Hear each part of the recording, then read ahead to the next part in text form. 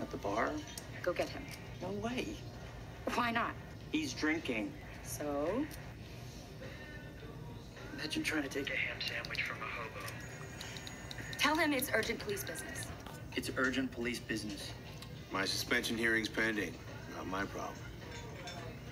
Suspension hearing pending, not his problem. Stubborn son of a bitch. I'm just telling you what he said. Not you, him. Oh. Look, can't this wait? Like, what is so important? Mitch, I need you to get a pen and write down this address. Hey. I need you to make sure that Frank gets there tonight. Wait, what's at this address? You will see when you get there.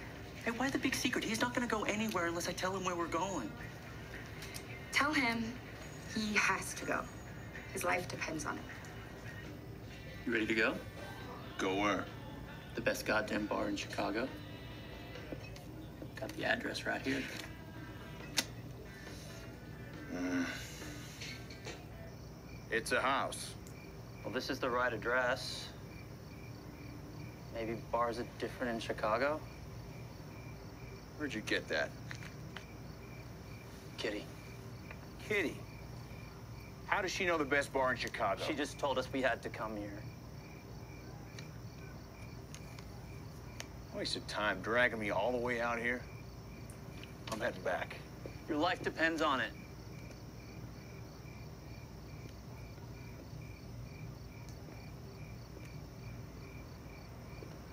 What'd you just say? Kitty told me to say that.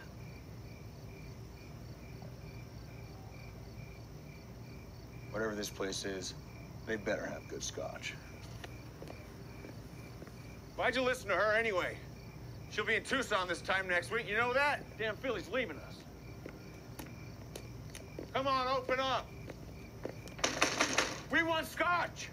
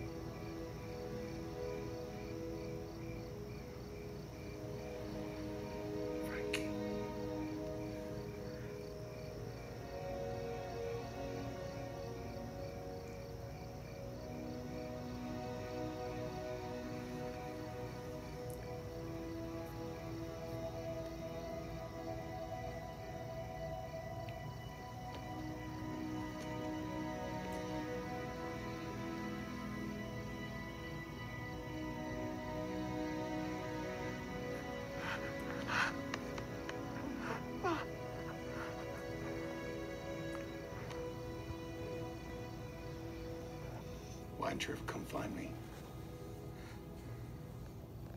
I gotta show you something.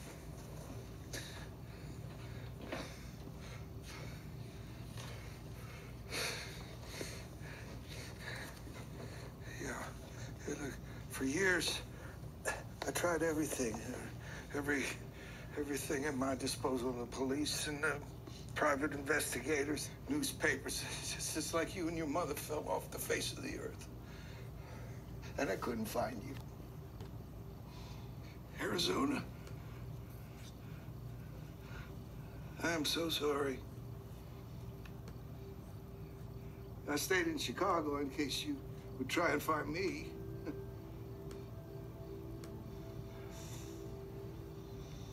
Mom told me you died in a car crash.